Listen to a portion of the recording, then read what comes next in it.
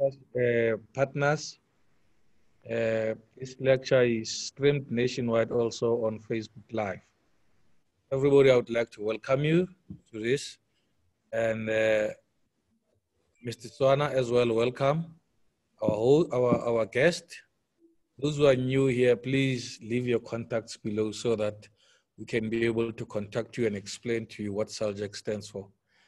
Uh, we also urge you to visit our website, www.salgc.org.za to get more information about the club and official membership is available for you.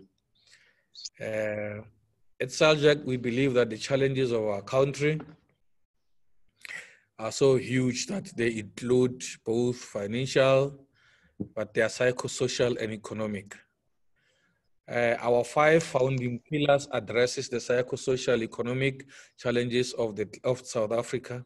And the intention today with your presence, Mr. Swana, is to have you talk to us on the fourth pillar of leadership in creating economic opportunities among local communities and ensuring beneficiation from local wealth. I think you call it repeatable systematic prosperity in your book, The Road to African Wealth, uh, which will be broken down beautifully tonight, I mean today. Recently, within SALGC, as WhatsApp group talks, the dominating conversations has been the wealth creation. Although I knew from inception that these conversations will be coming up at some point due to the existence of this pillar, I must confess that I never thought the conversation would come up this quickly. What makes me even more exciting is that our FOS, which is Friends of SALGC, which are the ladies uh, or the women within the SALGC, were incredibly inspired by Mrs. Ntla's talk a fortnight ago as a result of that. They are also talking wealth creation. They have also created WhatsApp groups where they are planning strategically to create wealth and empower women and also empower the club and all its mandate. I would like you to know that your talks here, as often as you come at the club with us, are not just talk show. You and many other speakers are planting good seeds for us, for our nation. And to that, we are eternally grateful leadership. In South Africa, we fail to create economic opportunities we all, in, in communities that we all emanate from. Hence, the corporate capitalist um, capitalizes on this lack of wisdom and establish various strategic building uh, their wealth within communities where we are. Our massive educational ex experience and international exposure is unable to stimulate us to create economic opportunities in our communities. Hence, the first thing that we ever think of after leaving school is to find a job, uh, find a new house, pay the bills, yes, that has been the routine for most South Africans for decades. SALGC aims to break this systematic evil enslaving neo-colonialist routine. We call it here at SALGC the end of an old era and the beginning of the new one. So I'll go on and about SALGC. We also call on the professionals like mm-hmm. yourself, and we are very excited that you often come here as a strategic partner to share your wisdom with us. We promise you that this is not in vain we will continue to learn from this and build up and build leaders and build our communities. The conversations that are going on within SALGC itself on economic wealth are very exciting. And I'm sure the leadership, the lecture today is going to be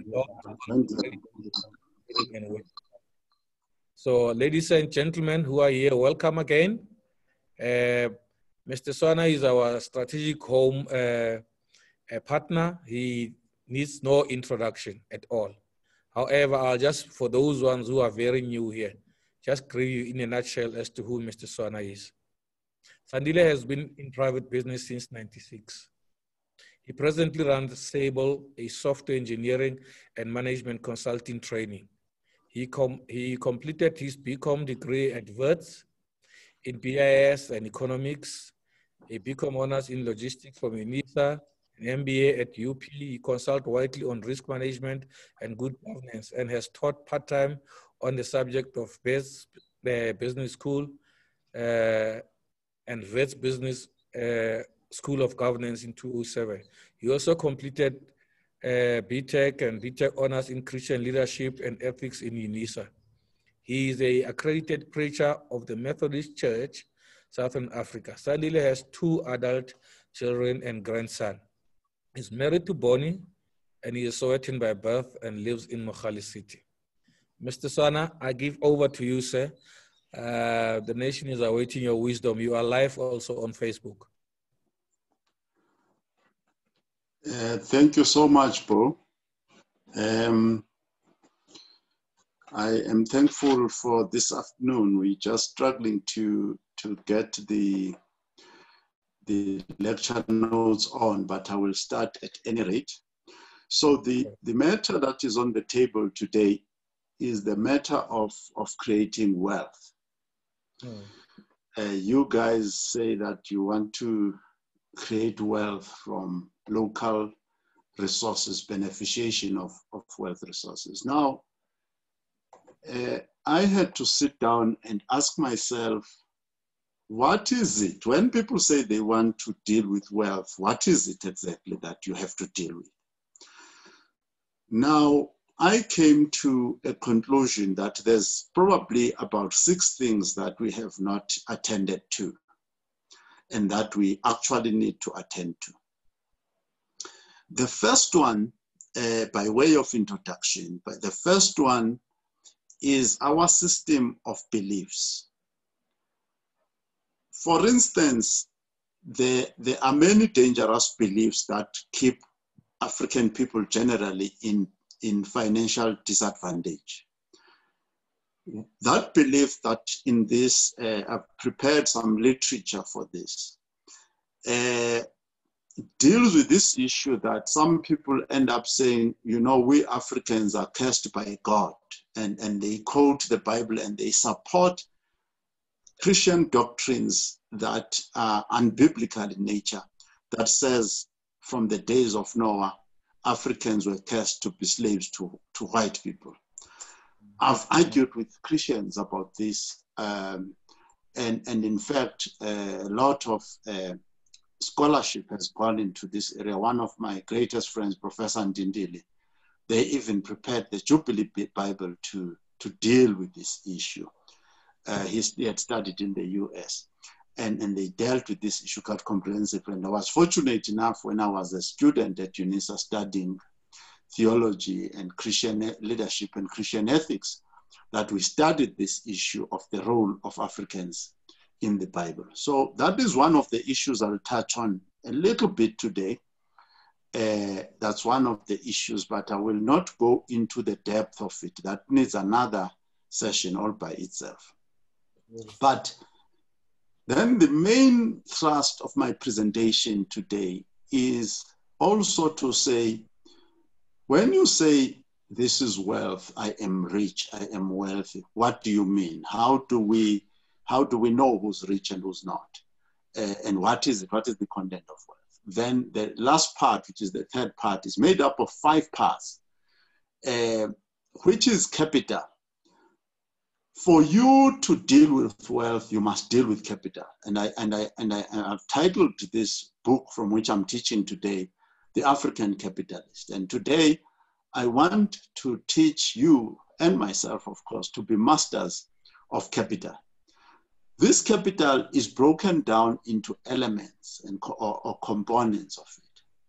You have social capital, you have intellectual capital, you have human capital, uh, you have uh, uh, uh, uh, finance capital and physical capital. All of these forms of capital have got research behind them.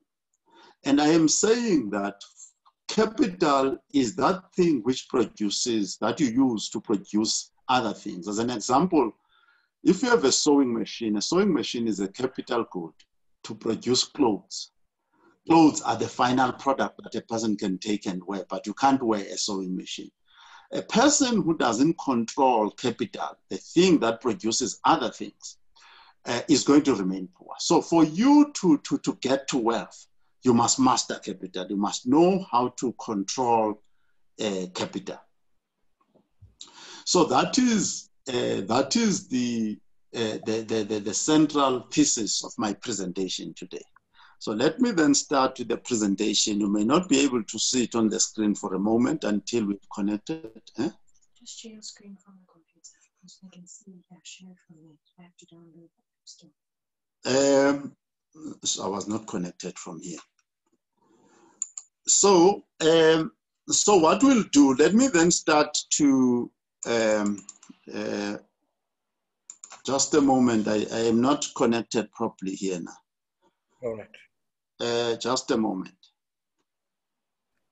While, while Mr. Swana is still sorting out his screen and uh, sharing it, there's a message right at the bottom that uh, one of our uh, leaders has invited Professor Lumumba, who is a great scholar and believer in this topic, to join us all the way from Kenya. So we've got African diaspora. When he logs in, please kindly let him in to join us. So yes, leader, we will definitely do that. And thank you for that uh, invite that you have ex extended. Just a moment. Yeah, just a moment. Uh, let's see here. Uh, where is that thing? Eight, five, two, three, six. Yeah, that I'm the technology. Uh, no, the thing is, this computer of mine has seen better days, I think. now I was trying to to uh, actually get another one. uh, but we'll sort it out just now.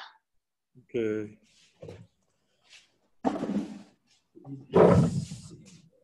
angithi nani suke nikhalazele i-screen sami uh, so the host should let me in now let me see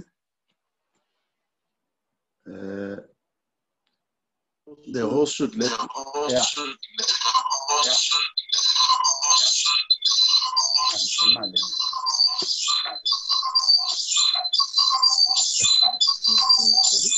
Hmm?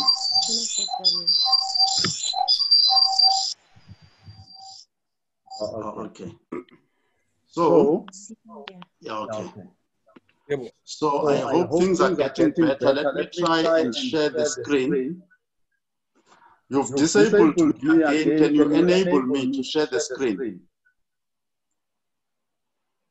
Hey, I'm doing that, but there's um there's two devices, so there's uh, quite a bit uh, feedback. Can you try now? Yeah. The other message says, I has also invited Dr. Sinkala as a chairperson of SADC Business Chambers to join us, especially to talk about the topic of AFCFTA, which will be a getaway to Africa. Can you see the the presentation? Yes, we can. Okay, thank you. So, as you can see, the the topics There's an, that are there. there's an eco leadership. Is, is there anything that is that you can do to get rid of the echo? Mhm. Damas? Mute Mute, mute my computer, please. Um, The one you've just enabled now. mute there.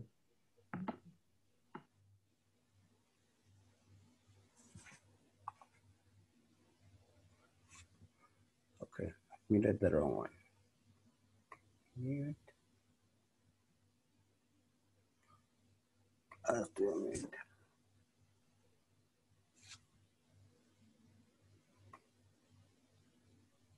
Please move this window. Shut the application.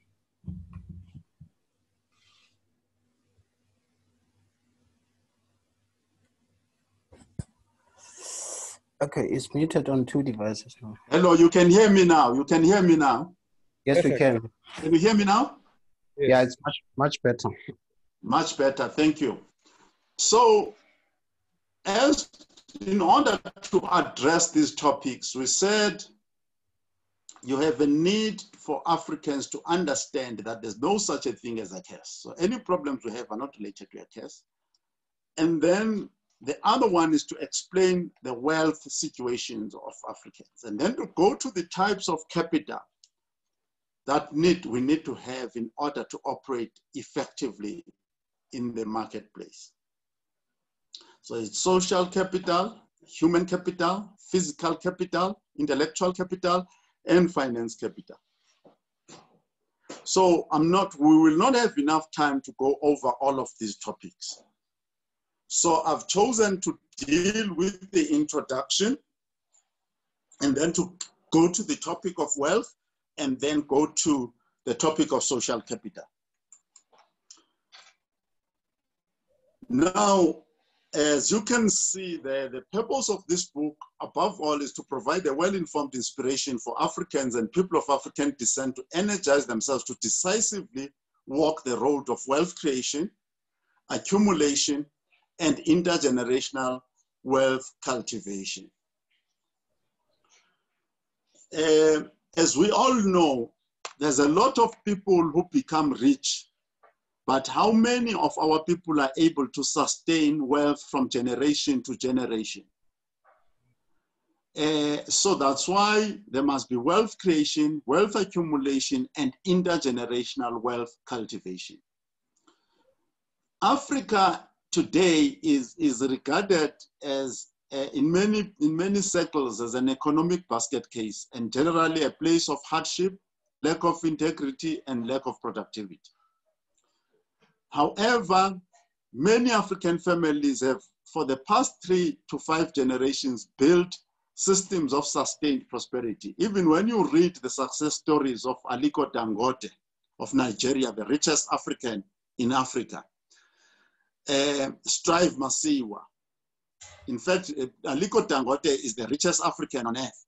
Strive Masiyiwa, uh, the Zimbabwean uh, billionaire in telecommunications and ICT.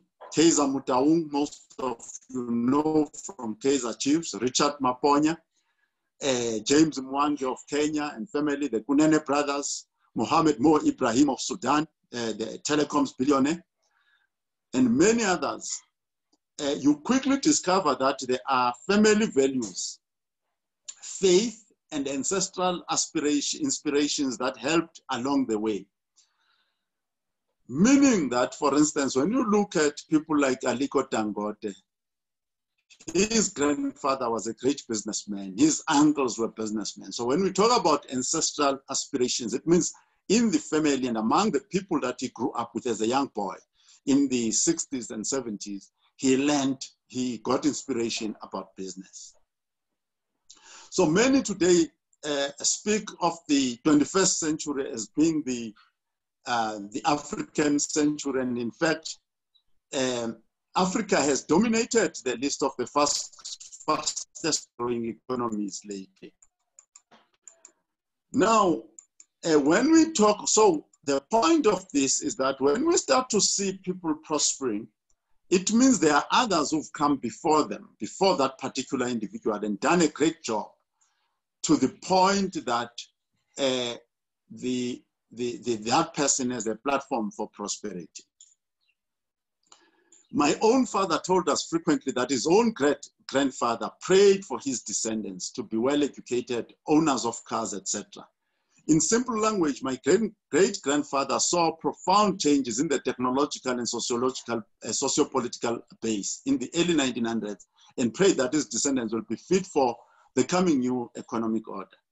This idea made sure my grandfather was a school principal, my father a managing director of a multi-billion rand finance corporation, and our generation are all entrepreneurs and intellectuals in South Africa. That is transgenerational transmission of ideas of progress and productivity. That is heritage. At the same time, there is a growing number of African, African nations who are now consistent in pursuing uh, meaningful economic uh, progress, like Rwanda, Botswana, Ethiopia, Mauritius, and so on. Thus, African people are slowly embracing the idea of re repeatable systematic prosperity. Prosperity is not something that you should ideally collide with along the way. It is something that you should arrive at systematically and be able to do repeatedly, re repeatedly in a systematic fashion. Um, there is a road that leads to prosperity, excellence, and wealth, and it must be navigated carefully and wisely. In this case, prosperity or wealth simply means you have enough of all the earthly goods and provisions to live the quality of life you determine to be satisfactory. This quality of life is culturally determined, and as an example, you may find a top professional allocating time to buy local porridge and barbecued meat from a local shisanyama for his or her lunch in an environment that many would not consider five star. But that is exactly what the person prefers. But that person and their companions will be well pleased with their provisions. Many African elites wear local, locally tailored uh, uh, uh, suits, attires, including and attires, including the famous Nigerian Babariga men's dress. Again, that brings about great pleasure and pride. Quality of life is culturally determined. However, there are minimum nutritional and other scientifically determined human, uh, human development standards under the United Nations that should over time modify and enhance our cultural determinations. Generally, no one becomes wealthy before they master capital. Capital comes in many tangible and intangible forms. And every community needs to be able to understand its own capital. Even a system of empowering beliefs do, do become a capital. Your beliefs can become capital or they can become a liability. Many nations over time develop a culture of innovation and creativity. This culture is capital in itself, and language captures that culture. Also, language enables thinking, imagination, and uh, creativity. Franklin Delano Roosevelt, Winston Churchill, Martin Luther King Jr., Paul Kagame are some of the leaders that fired up the imagination of their people in the most desperate of times to greatness and progress. Now, people then imagine a new and a better life. So when you want people to imagine a new and a better life, it means you must have a language for that. So as Africans, we must now have a language that says what is a better life, what is prosperity, what is wealth, what is our language about that. All things that are important and useful to a particular culture, and all of our tools for making success in life on earth are included and indeed and indeed uh, make up our culture. So everything that is useful to you as a person, if you are a Mutswana, everything that is useful to a Mutswana, there'll be uh, Tswana words for it. It will be captured in your language. If there's something useful to a wronger person, uh, that thing will be captured in the language. All things that are helpful are captured there. So your culture, the library of your culture is your language. Is your language. Language is the library of culture. Everything a culture knows as a word, a description, and probably definition in their own language. In fact, language shapes your outlook and the way of thinking. Your language is your primary thinking tool. So if you don't have a language, you don't have the thinking tool. The first thing that you need is to be able to think, and you need a language for that. Albert Einstein said this. Uh, the power of language, about the power, the mental development of, of the individual and his way of forming concepts to a high degree, um, depend to a high degree upon language. This makes us realize that what, to what extent the same language means the same mentality. In this sense, thinking and language are interlinked. So a German scientist thinks like a German scientist. A Zulu scientist thinks like a Zulu scientist. A Tswana scientist thinks like that. So there are idioms and metaphors and, and constructions in your culture that enables you to tackle problems. So your language must be developed. In this sense, every person or people need a language of innovation and productivity in order to progress. Language shapes thinking and it must be developed and expanded. Language in this sense is capital. It is used to produce new goods and services. Capital is anything that can be used to produce other goods and services that generally allow human beings to enjoy the good life. So language is something that you use to generate concepts, concepts that you can convert to products. So you need language. Um, some scholars have told us clearly that you, you cannot economically develop if you don't develop your language. The good life is defined, all of this we're doing it to, to, to, to achieve the good life. The good life is defined well by the Aga Khan Foundation. It is both objectively measurable. As an example, you cannot have untreated TB or infant mortality and say you have a good life. But good life is certainly defined by people in their own context and culture, and therefore is also subjective. So quality of life is defined as follows. So what do you mean? You are living well. This is what it means. A person whose basic needs are met, who can act effectively and meaningfully in pursuit of his or her goals, and is satisfied with life. This means that according to our understanding of life, you have enough accommodation, food, safety, independence to make your own decisions and to pursue your own dreams. In our times, the good life means taking better care of the environment, eliminating wastefulness, increasing health and wellness, and also creating a much more meaningful social life. Again, capital takes the form of social, human, physical, intellectual, and finance capital.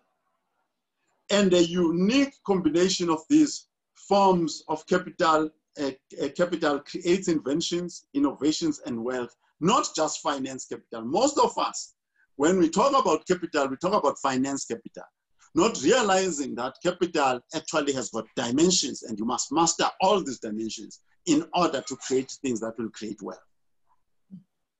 Families and communities who progress are the ones who develop people, develop talent and skills. Simply, human development is in fact the key ingredient of development.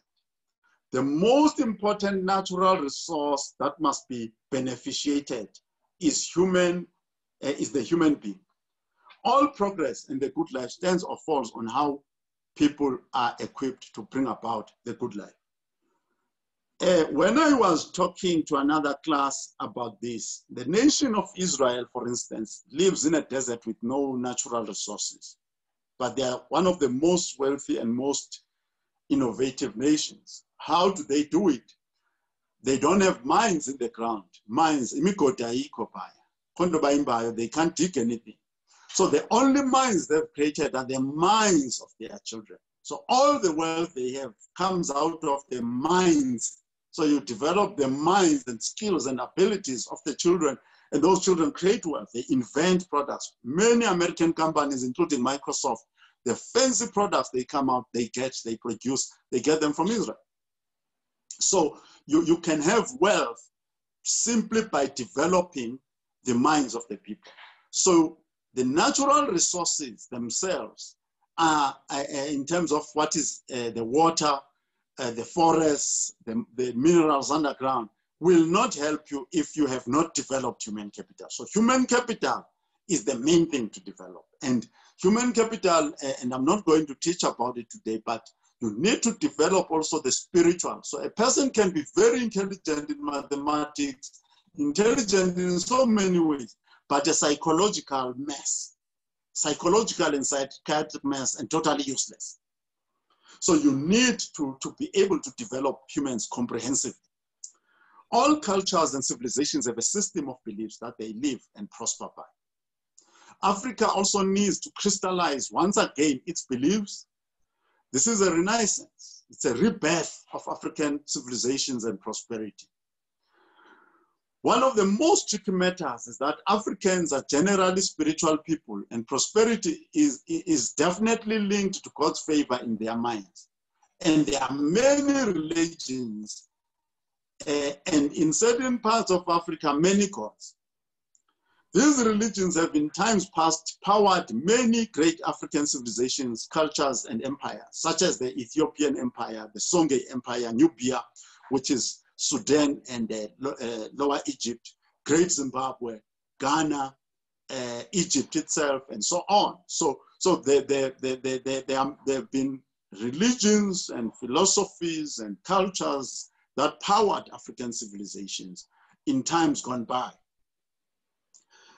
So logic should say that, however, God is many times associated with pain, slavery, apartheid, colonization, and imperialism, among many other and uh, among many other difficulties and atrocities.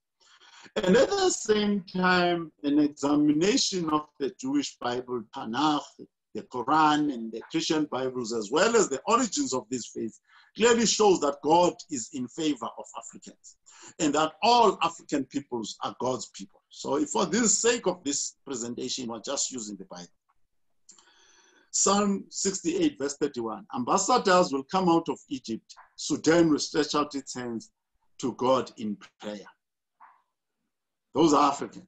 So Africans are not people who are rejected by God. And it continues in Matthew 2, 13 to 15. After they had left, an angel of the Lord appeared to Joseph in a dream. The angel said to him, Get up, take the child and his mother, and flee to Egypt. Stay there until I tell you, because Herod intends to search for the, for the child and kill him. And Joseph got up, took the child and his mother, and left for Egypt that, that night. And he stayed there until Herod died. What the Lord had spoken through the prophet came true. I have called my son out of Egypt. Now, Christ was called out of Egypt. When Christ was threatened to, buy, to die, to, to be killed, he was sent to Egypt. And God called him out of, sent him to Egypt to go and hide from death. Afterwards, afterwards, uh, he called him out. God called him out of Egypt. When we talk of African Christianity, we must also remember that the Coptic Church the Nubian church, the Ethiopian church, and also the North African church broadly in Libya, in Mauritania, Tunisia, Algeria, and so on, were operating on the continent before the European Protestant churches came into the Afri onto the African continent. St. Mark's, St. Mark, the disciple of Christ and writer of the book of Mark, started the church in Egypt, Alexandria, around AD 60. That was long before 1652. And that became the Coptic Church. And this Coptic Church also evangelized Sudan and, and birthed and birthed the, the new the, the Nubian church. Abraham, the father of, of the of the Jewish, Christian, and Islamic faith, and his descendants used Africa as a place of refuge, and Africa played no small role in the history and development of these faiths. Moses, the leader of the Hebrews, was married to an Ethiopian or a Sudanese woman. Joseph, his predecessor, his predecessor was married to an Egyptian woman. Africans have a right to all the blessings of God, and the blessings of God make you rich financially. The blessings of God are for all nations and all peoples. Proverbs 10:22, it is it is the Lord's blessing that makes a person rich, and hard work adds nothing to it.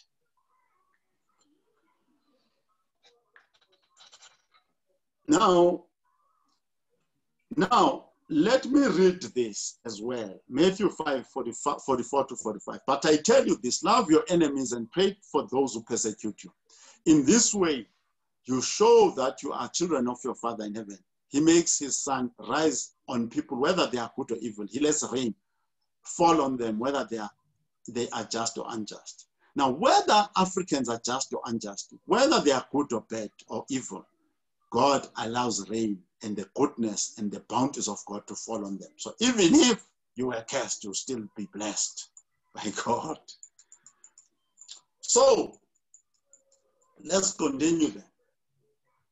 Now, uh, there are blessings aimed at Africans in the Holy Scriptures. Ham, the so-called progenitor of Africans, was blessed directly by God. So According to the, the, Bible, where Noah had sons, one of them was Ham. Ham is regarded as the father of Africans. Uh, but Ham was actually blessed by God side by side with his brothers. Another crucial aspect of faith is that wealth is created basically from nothing but human creativity and hard work. So a desolate place and apparently poor environment is the best place to demonstrate creativity by bringing in new technologies, water purification and, water distribution systems, holiday resorts, schools, universities, and factories, all from nothing, like nations like Singapore, Israel, Rwanda, Japan, Ethiopia, have demonstrated this between 1960 and now.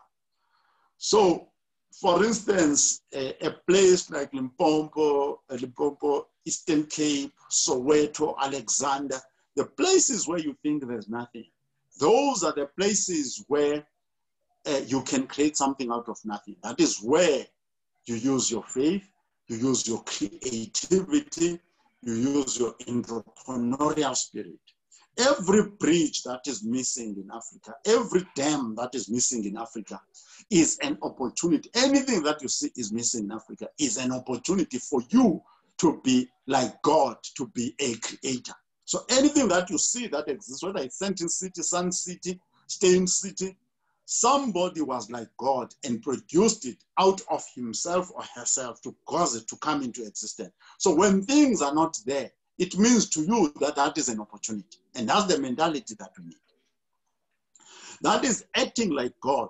And God is God regardless of any Bible, book, of theology, because he looks after all of his creatures well. I trained as a software engineer. In that, in that discipline, we are taught to create software systems that do not exist. Create from your own mind and the knowledge of your customers that's where you create from. Musicians, Jerusalem, where did the song Jerusalem come from? It comes from inside the person and it produces outside. Musicians, painters, sculptors, architects, etc., they know this well. Anybody who does something great starts with creativity on the basis of nothing. Now, Africans need to understand the practical content of prosperity and what items to pursue in the economy. That is to say, Africans should go beyond the empowering uh, spiritual and philosophical beliefs and tackle the real world with that power. Let me make this clear. Nations prosper even they have even if they have many religions. Singapore has four main religions: Buddhism, Islam, Hinduism, and Christianity. I am a Christian and I believe that all progress is about cross pollination, learning from people who have different viewpoints from ours. That applies to languages and cultures. Give people a chance to think and flourish in their own languages and then learn from them as well.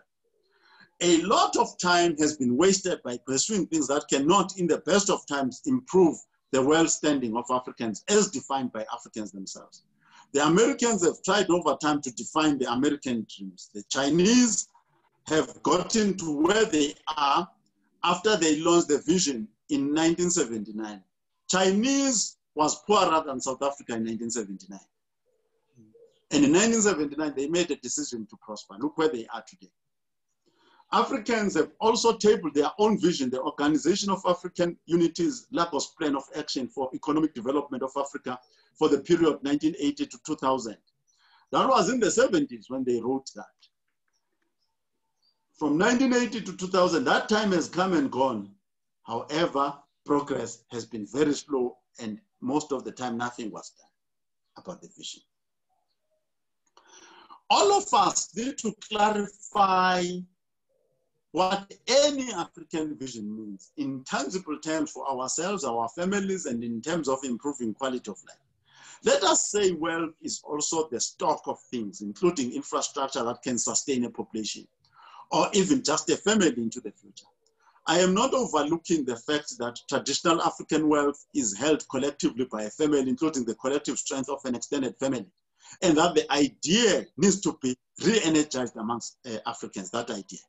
Many middle-class Africans pursue a lifestyle of excessive consumption and expenditure in an effort to appear prosperous due to lack of understanding of the nature and underpinnings of wealth.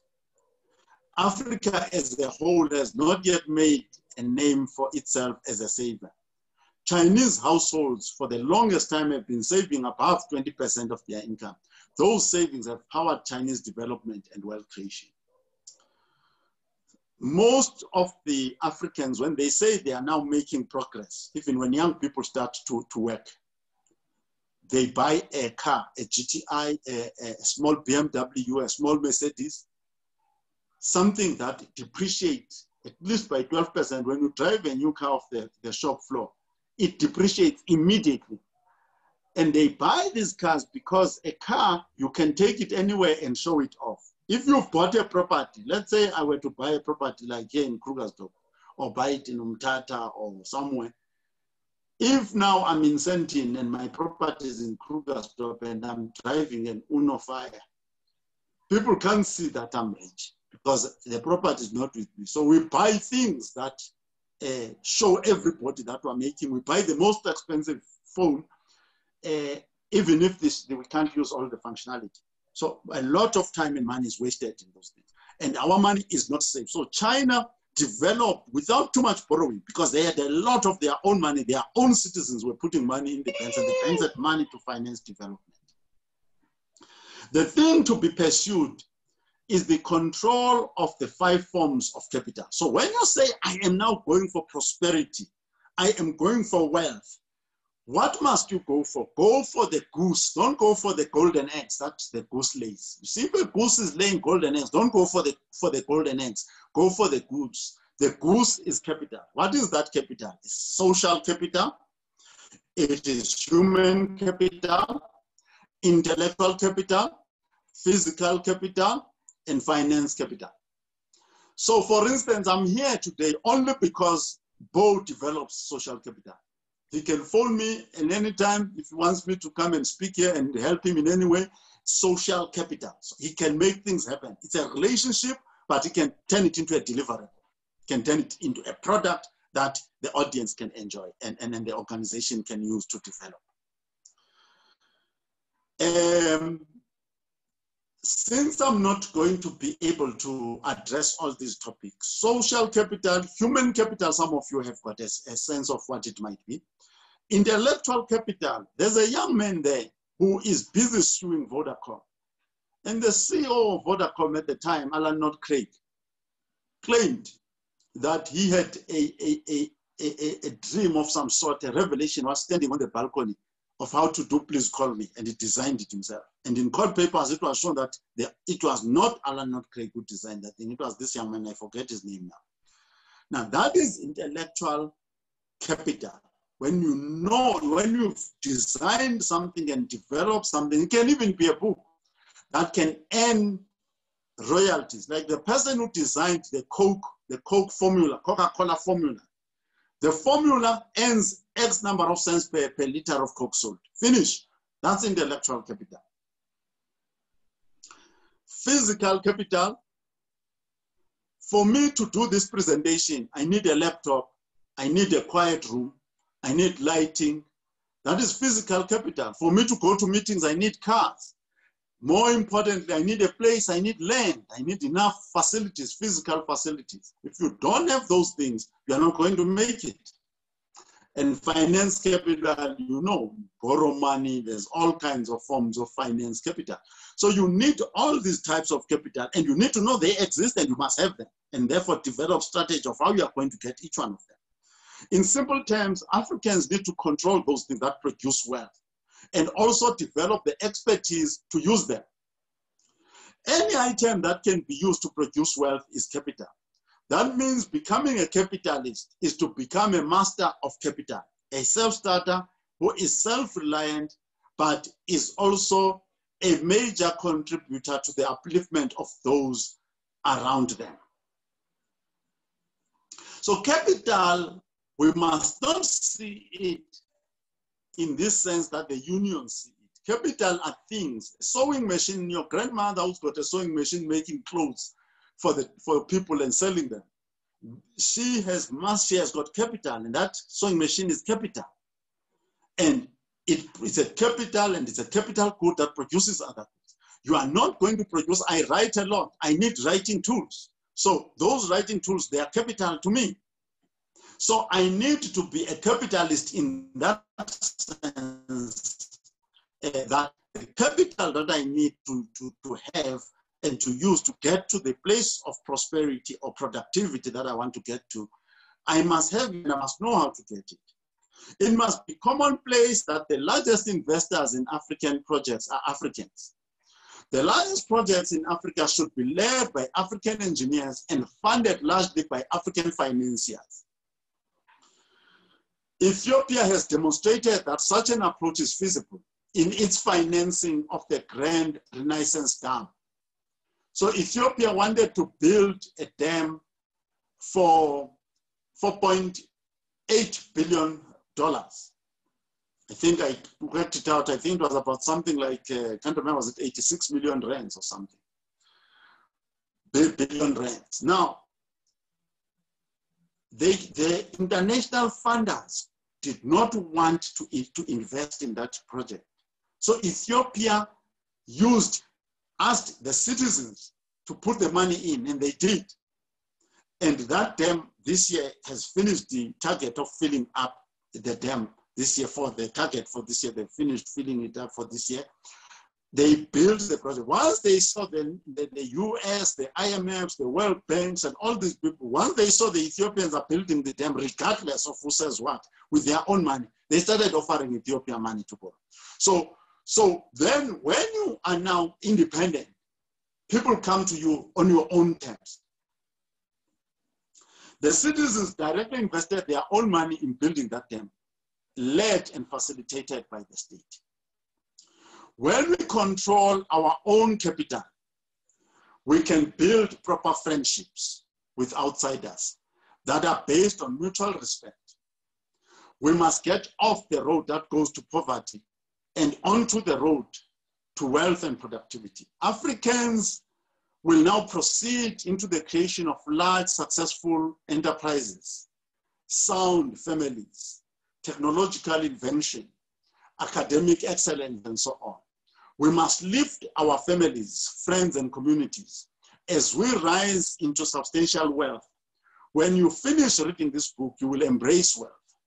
The God of Abraham, spirituality generally, and good relationships all at the same time with a clear conscience and focus. You must embrace spirituality generally.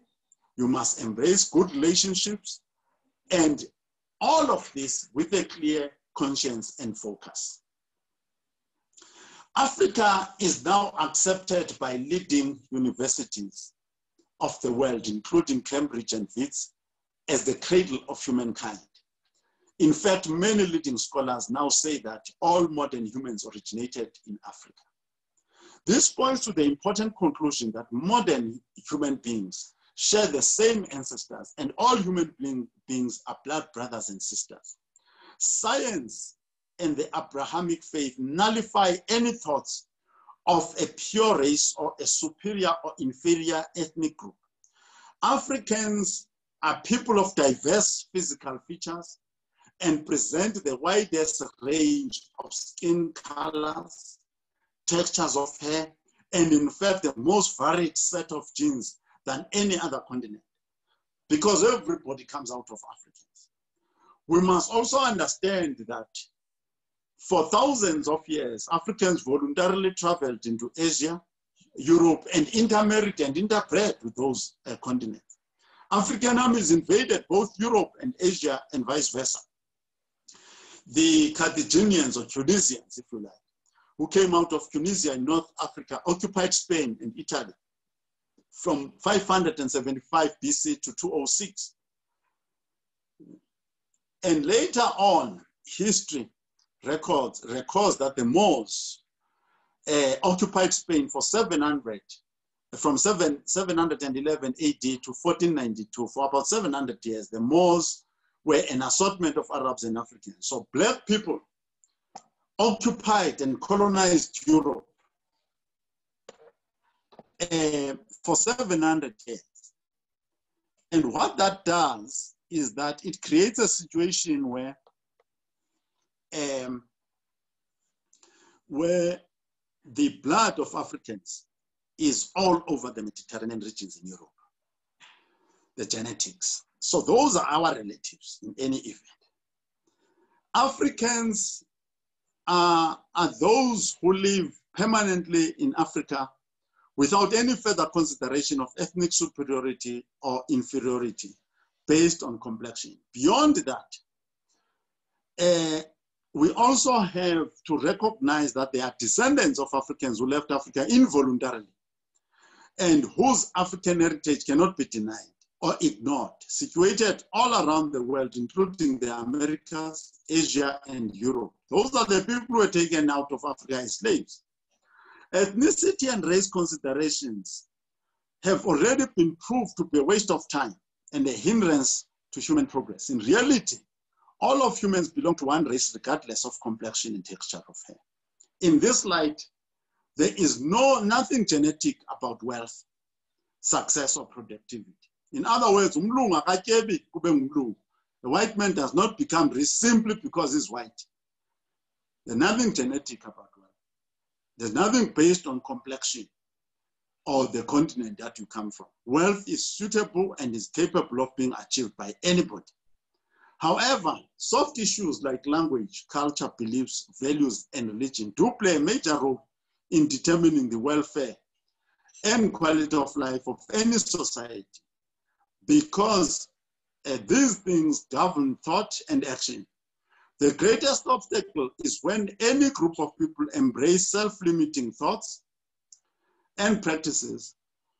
I listened to Myles eh, Munroe, who eventually wrote at least 40 best-selling books in his lifetime from the Bahamas, saying that he was reluctant to write because he thought people of, of the world could not readily bring themselves to read a book written by a person of African descent. And Myles was a great intellectual.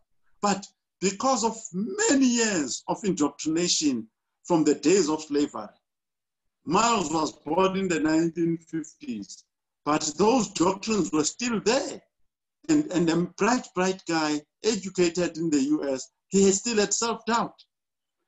As a South African, I grew up in an environment where the inherent human value of Africans was always under attack. And we still have to recover from those misleading doctrines.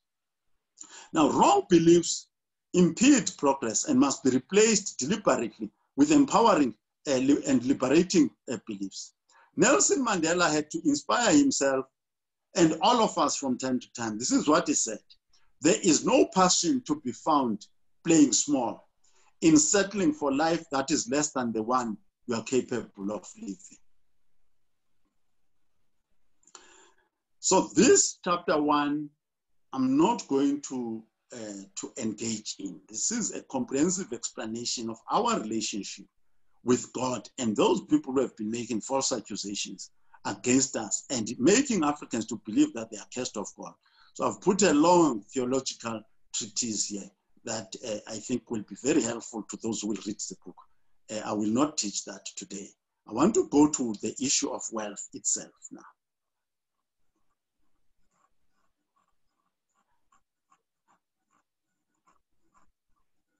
Leadership, there's a sidebar that's got a number of documents on your left. It's on my left. I don't know from you. Can you close it so that the screen becomes bigger? Yes. Okay, let me do that. Thank you, sir. You're welcome. Thank you. Thank you very much.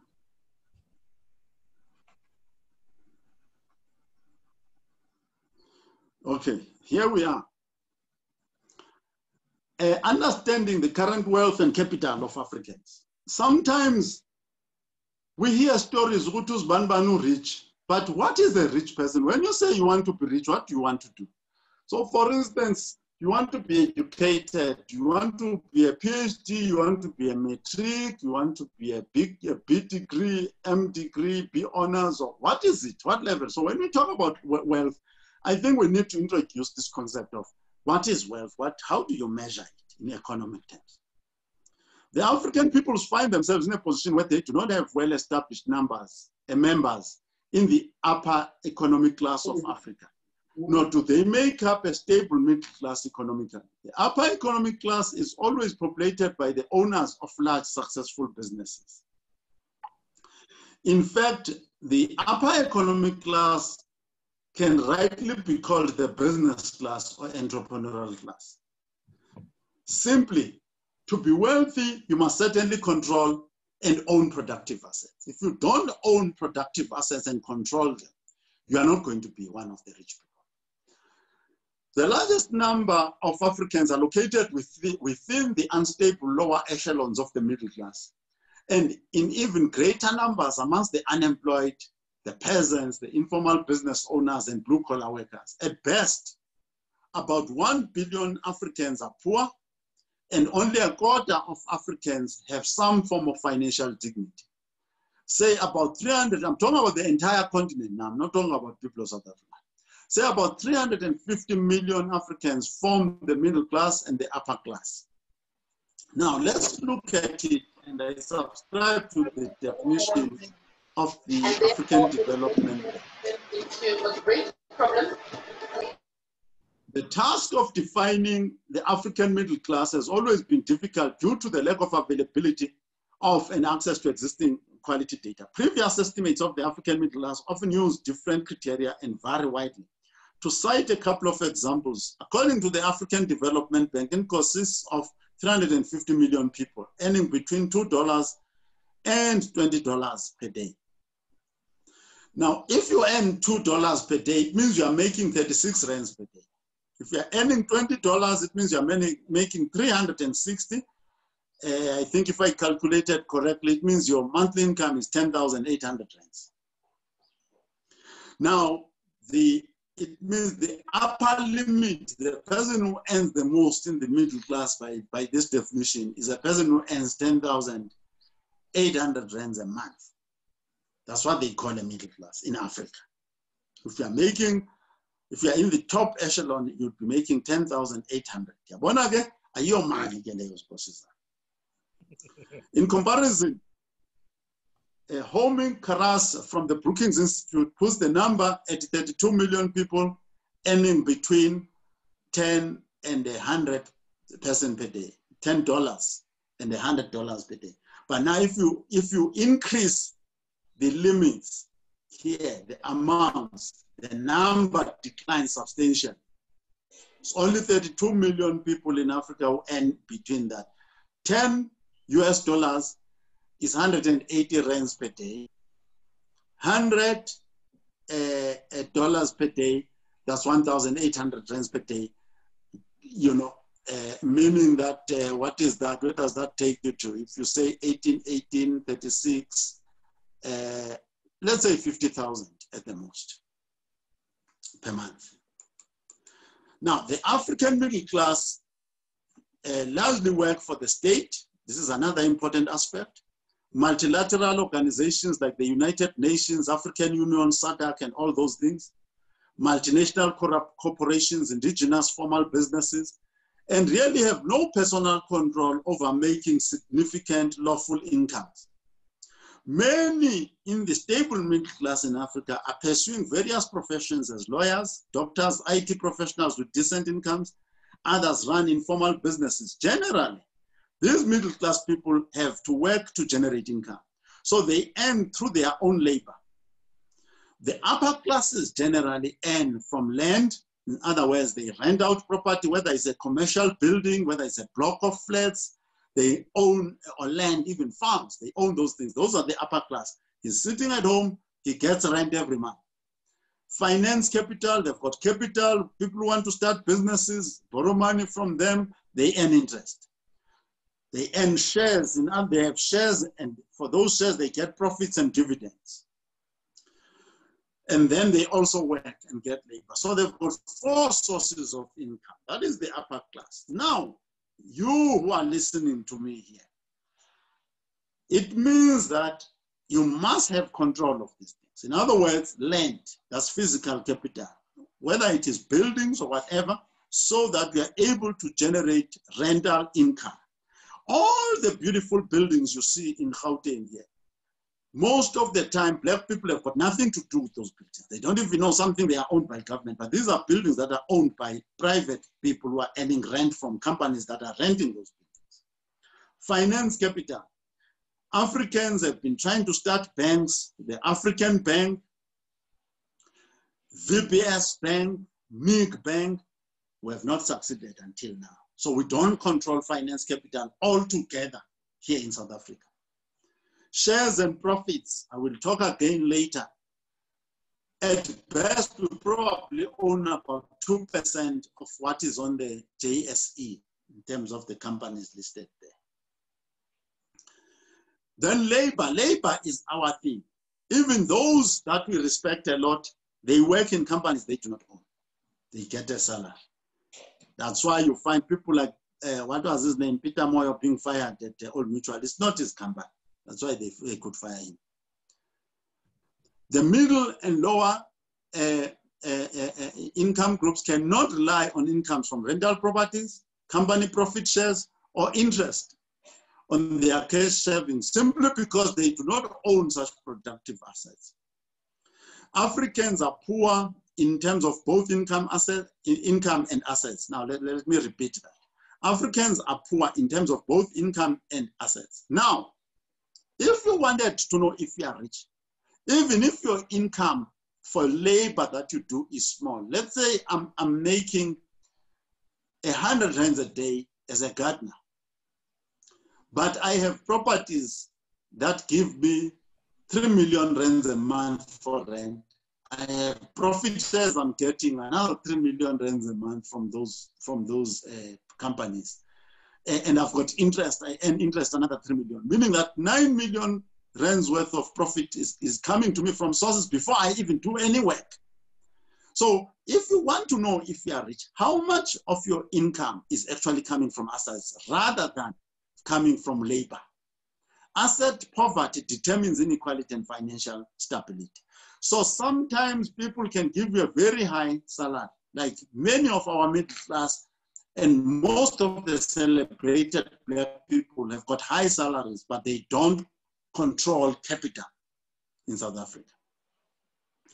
And the groups, the members of this group are here to study that now you must start owning capital Unlike in Germany, USA, and other successful nations, uh, formal successful businesses are not yet the backbone of the African economy.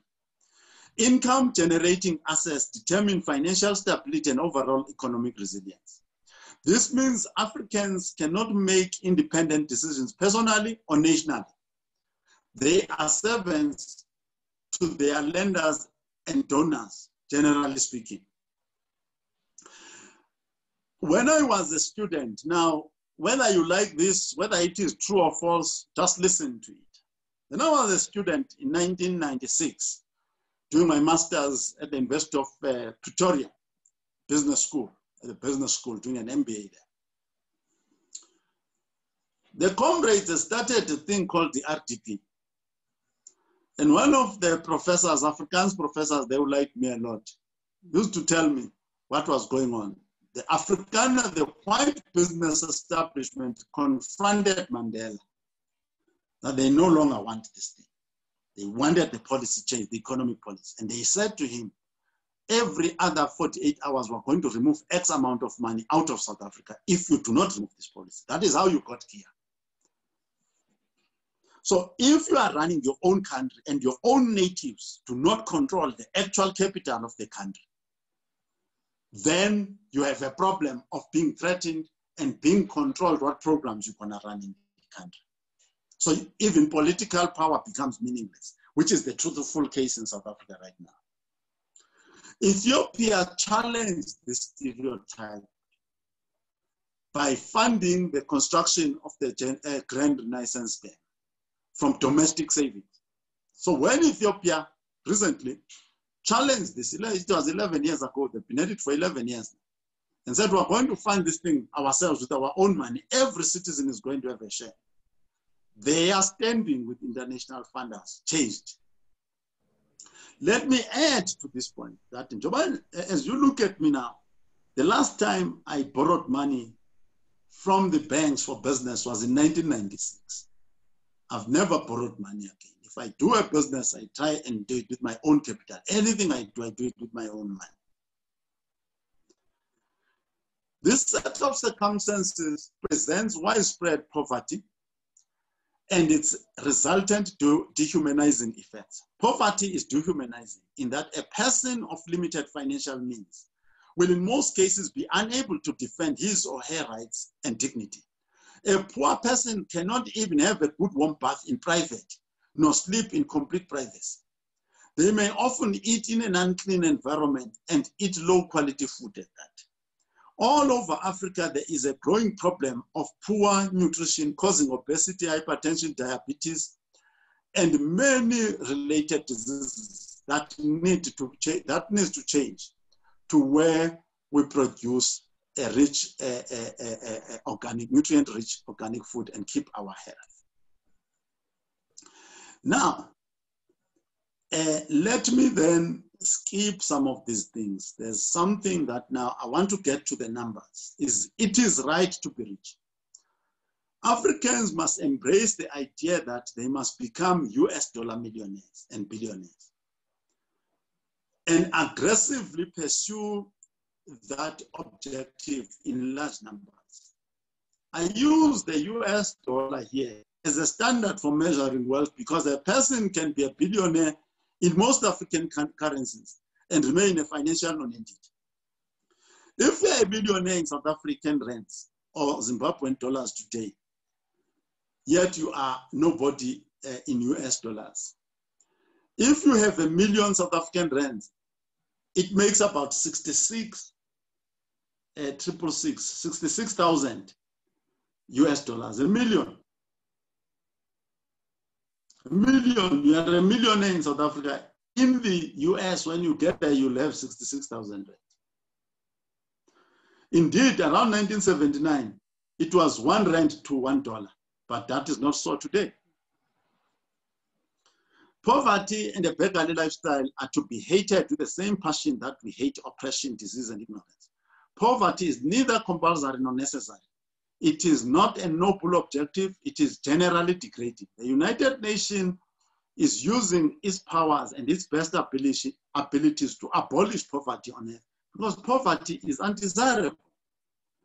Wealth is a very good, is very good and enhances quality of life and human dignity and must be treated as such. Simply put, savings must be enough to carry you without income or salary for five years.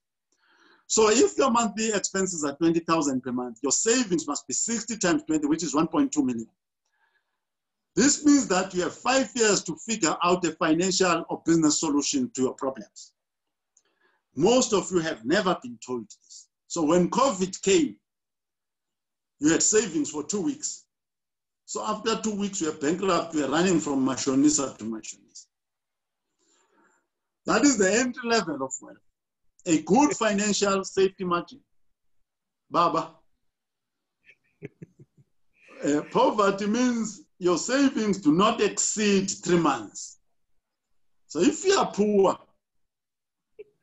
if your monthly expenses are at, uh, at 20,000, then you'll have 60,000 per month, for, for, which can keep you for three months. You are still poor if you are like that. Simply put, you are financially unstable. We must all agree that poverty confers no advantages to anybody. So what is the extent of truly wealthy people in Africa? In Africa, there are only 23 US billionaires in Africa. For a start, there are 1.3 billion. Can you see that number there? 1 billion 347, 333, and 4 a million. 1 billion 347 a million. That's 1.3 billion. Out of that whole number, it's only 23. 23 US billionaires. 23. High net worth individuals own 42% of Africa's total wealth. Africa accounts for 16% of the world population, but 1% of the world's wealth. Can you see that? We make 16% of the population of the world, but we make 1% of the world's wealth. To make matters worse, of the 2.2 trillion in total wealth held in Africa, 42% belongs to 140,000 people who are considered to be the high net worth people. That's 140,000 people out of 1.3 billion, controlling 920 billion dollars of African wealth. These people who control that amount of money in Africa, uh, they are just, uh, they can just overflow perhaps the, the, the, largest stadium in South Africa, which is FNB with 100,000 people, 140,000. The number uh, includes the 23 billionaires living in Africa, each with net assets of 1 billion or more. A high net worth individual is anyone who has financial assets worth more than 1 million US dollars, meaning 18 million rands liquid to invest, excluding your primary residence, cars, and personal effects. So if you have 18 million rands in cash for investment purposes free, and you don't count your house when you count your assets to be, uh, to be considered wealthy. You assume you've got your house, you've got your cars, you've got your clothes, you've got your, your furniture. We don't count that when we count wealth. To put those numbers into perspective, the average person living in Africa has a net assets of 1.9 thousand, uh, 1.9, 1,900 US dollars compared on average in the world is 27,000. Can you see? This is how much the average African owns in assets. This is how much the average human being on earth actually owns. So we are poor, totally poor. Now, um, a poor person is in great danger of being a materialist and their stomach becoming their God. In reality, they suffer from the same fate as their other greedy materialists because of their longings and desires with no spiritual well wellness. Wealth must be acquired in broad daylight using wisdom, sound ethics, and lawful means, as the likes of Strive Masiyiwa, Mo Ibrahim, and Aliko Dangote teach us. You do not have to be crooked or wicked to be wealthy, just as much as you do not have to use unlawful drugs to be a top performing athlete or a top student. You can win clean, therefore do not assume that rich people are dirty. Let's continue then. What does it mean to be rich? I'll skip that one.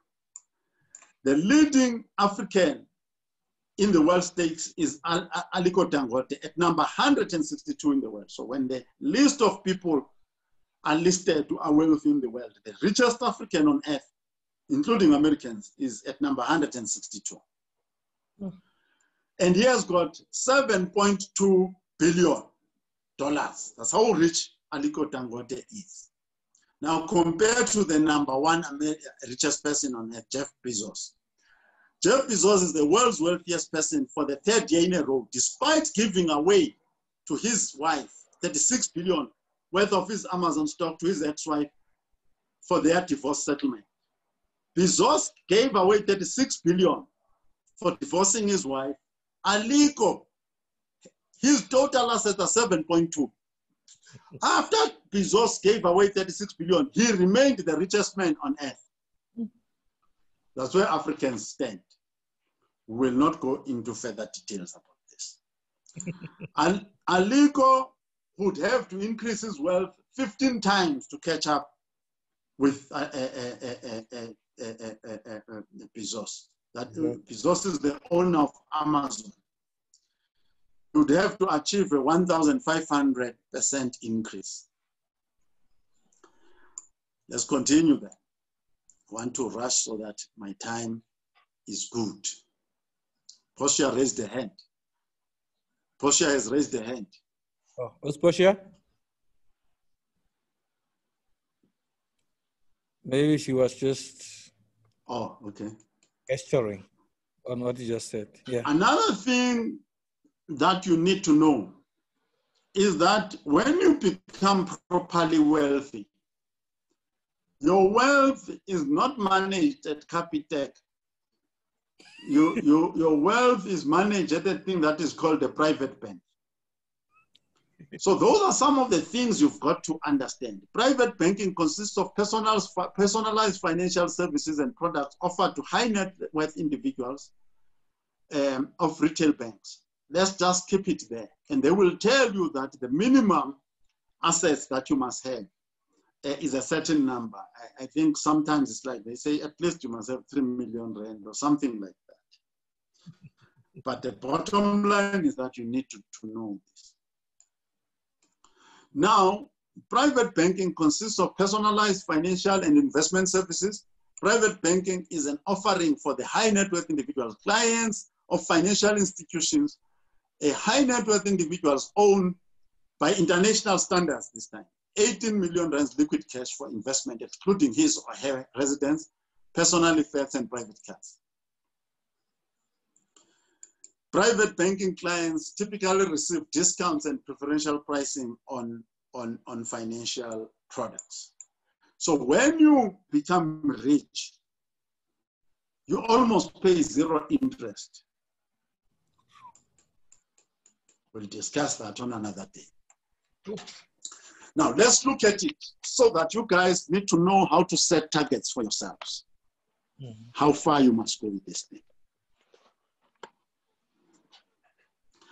A high net worth,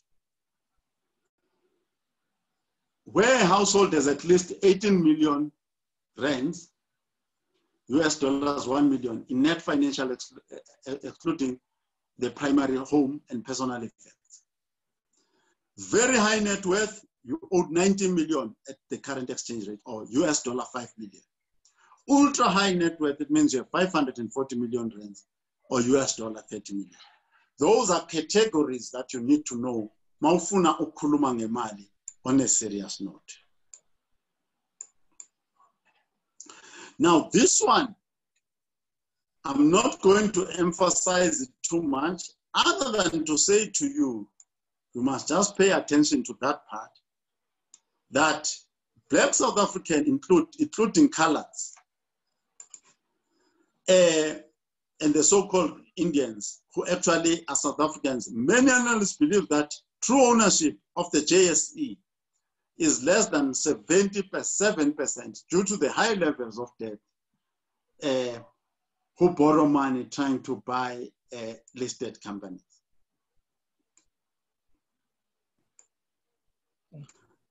Then now, let's continue. What are we looking for? What are we looking for? The traceable cause of all wealth in any family is entrepreneurship, coupled with advanced skills that come from tertiary education or formal training in a trade or profession. The second best option for making money is to become a senior executive in a very large corporation and qualify for a lot of shares in that company. According to a survey by Best Wallet Hacks, the top 10% of US income earners are gaining wealth from businesses, farm, and or self-employment income. Half of their income comes from wages through business and other half comes from interest, dividends, and capital gains. Those numbers haven't changed since 1989. Millionaires suggest that several paths to building your wealth and becoming, and, and becoming a millionaire. One path uh, to consider is having multiple streams of income. I've told you those multiple streams. You can have properties, including industrial and commercial properties that you rent out, um, and residential properties. You can have shares in different businesses. Um, you, you can have financial investments that you make, a, a, a fixed deposits, financial buying uh, this and that and the other one. Um, let's not talk about these ones you get on Facebook. Um, those who want to earn more money should make sure that all of their income streams are growing. So once you've got different income streams, you must make them grow. Entrepreneurship is the ability to creatively organize all relevant resources into a sustainable enterprise that adds significant value to human society. An entrepreneurial enterprise must improve the lives of its customers over a long period of time, and it must affect a lot of people. A little corner shop that never grows to a sizable and formal business does not constitute entrepreneurship. That is Zamazama. A business whose total sales cannot be measured in millions of US dollars is not entrepreneurial. In fact, a very large number of Africans must get into the habit of creating and running businesses that turn hundreds of millions of US dollars a year and also multi-billion US dollar businesses. Entrepreneurship is rooted in creativity, the ability to make and manage risk and bear direct responsibility for success of an enterprise. Entrepreneurs are marked by perseverance in the face of challenges that make an ordinary person uh, totally sleepless and scared. They can calculate ways of walking in dangerous paths successfully, but their main instrument is faith, coupled to hope and confidence that they can take a calculated risk and win. There are, of course, times when courage is the only instrument left for an entrepreneur. Great South African entrepreneur Raymond Ackerman says entrepreneurship is 90% guts, 10% capital. Once you have visible and tangible dreams that you are pursuing fully, investors will follow you, even if after much struggle. Okay? Now, uh, let me then start uh, uh, winding this down. What I want you to be aware of, which is what is written here, is that because money is going to be made in new businesses, old families that have been rich before are not the ones who are going to be necessarily making the most money.